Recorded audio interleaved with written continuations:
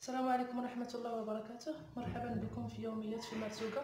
كنتمنى هذا الفيديو يلقاكم بخير وعلى خير وفي أحسن الأحوال. آه، اليوم بعد طلب بعد طلب بعض المتتابعين ديالي آه، طلبوا مني أنني نصاوب لهم المدفونة. المدفونة هذه خبزة. آه، مشهورة عندنا في الجنوب الشرقي وقررت اليوم أنني غادي نشاركها معكم كنتمنى تنال الإعجاب ديالكم. بسم الله على بركة الله. هنا استعملت نصف كيلو من الدقيق الخالص ملعقة صغيرة من الخميرة معلقة صغيرة من الملح. كنخلطوا المكونات بماء يكون دافئ. وبسم الله على بركة الله غادي نبدأ. كنحاول نجمع هاد المكونات بالماء بشوية بشوية حتى نجمع لي العجينة ديالي. هنا أنا غادي نصاوب معكم غير خبزة وحدة.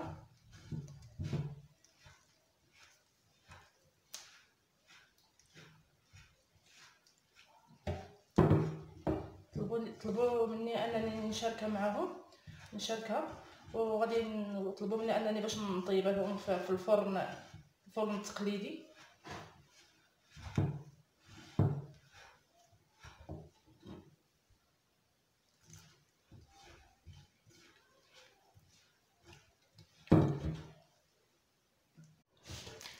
نحاول نجمعها مزيان. وندلكها حتى نترجع عجينه لينه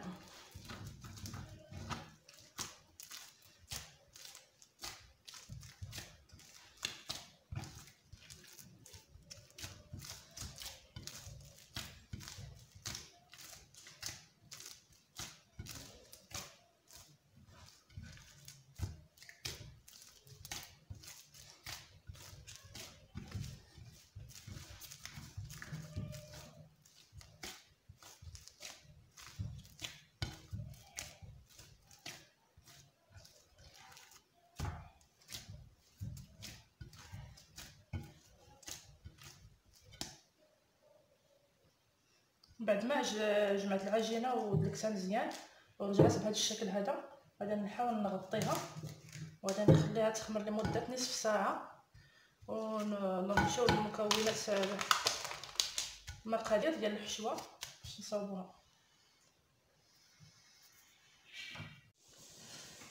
بسم الله على بركة الله هنا استعملت ربعه ديال الكفتة ديال الغنمي.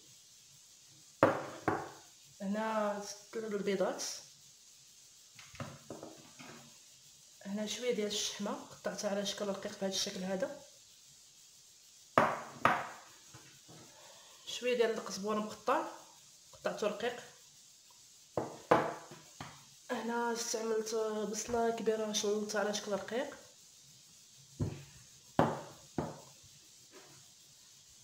العطريه هنا استعملت ملعقة صغيرة من السكنجبير قليل من الزعفران قليل من الكمون معلقة صغيرة من الكمون معلقة صغيرة من التحميرة معلقة صغيرة من من السودانية والابزار اختياري. بغيتي ديري ديري ما بغيتيش ديريش. بسم الله هنا غادي ندير كفته. غادي نزيد عليها هاد البصلة مشلضه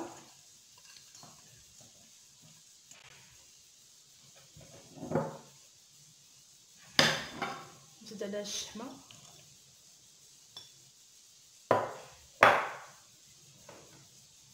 قزبور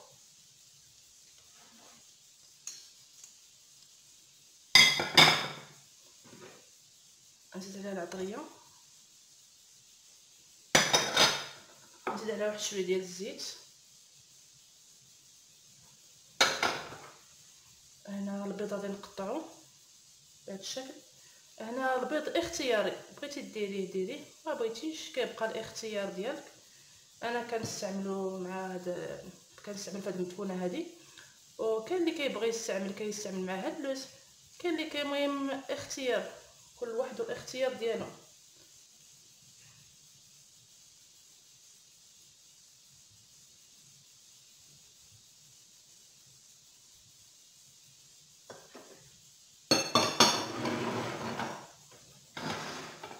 غادي نخلط هاد المكونات أنا نخلطهم بيديا. هاد المكونات تبغيو تخلطوا باليد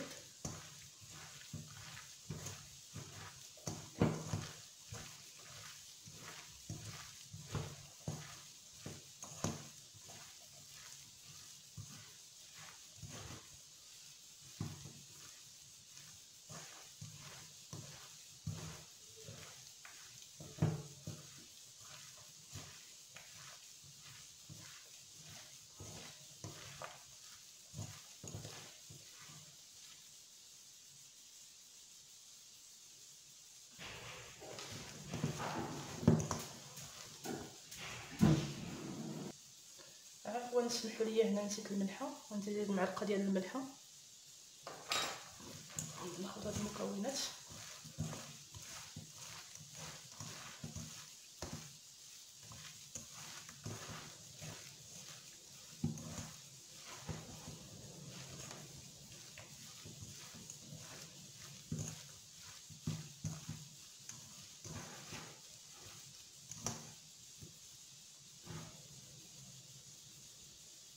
بعد ما خبرت لي العجينه شكلت منها جوج كويرات بهذا الشكل بهذا الحجم هذا.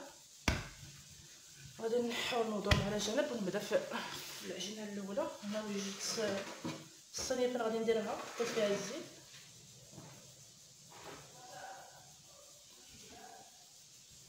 بسم الله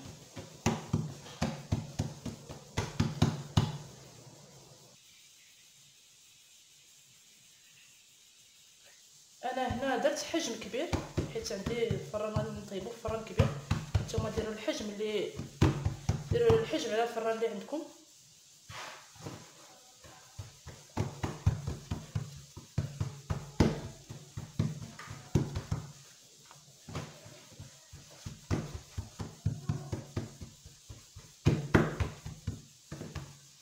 غادي نخليها على جنب.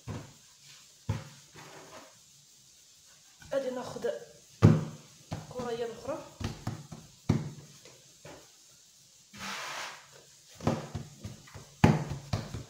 غادي ندير الدقيق باش ما تلصقليش العجينه فوق سطح العمل.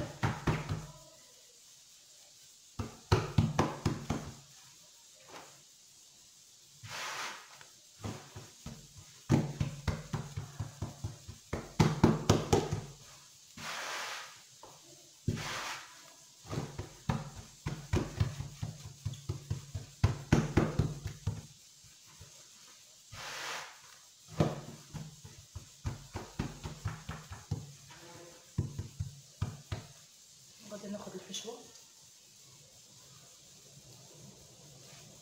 غادي نحاول نستفها كاملة على هاد هاد الكرية هذه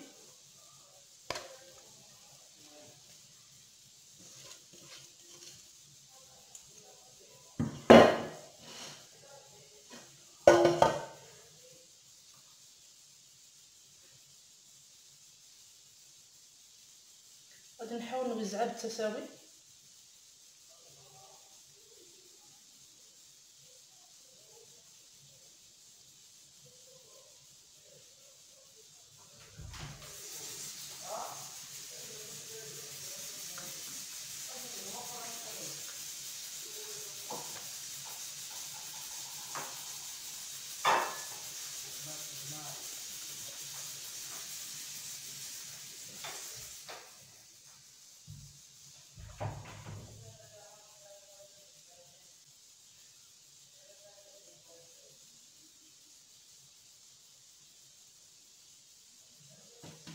غادي ناخذ النصف الآخر. نحطو على هذا الشكل.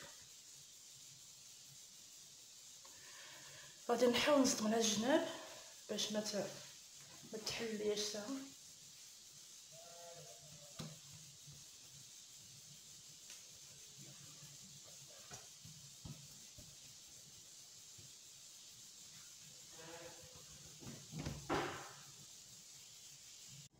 هنا أنا درتها في الزيت.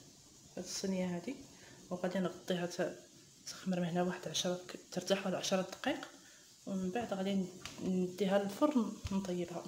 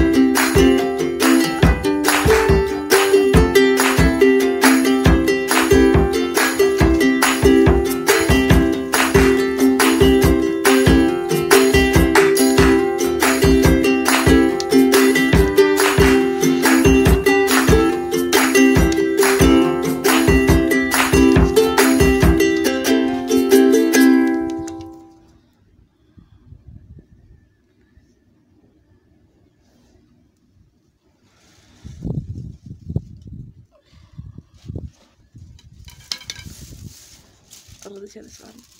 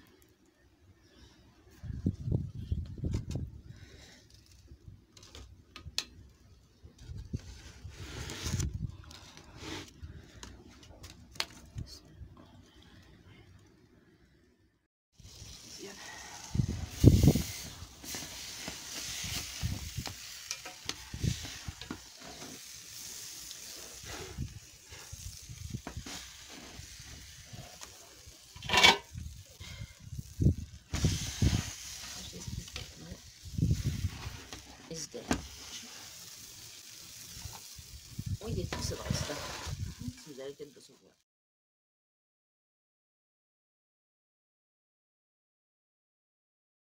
هذا هو الشكل النهائي ديال المدفونة ديالي. كنتم- كنتمنى تنال الإعجاب ديالكم اسمح لي نحرق شوية من هذا الجنب حيت كان الجو العجاج على برا يعني ما سعفنيش أنني نصور لكم مزيان وكتجي بهذا الشكل هذا.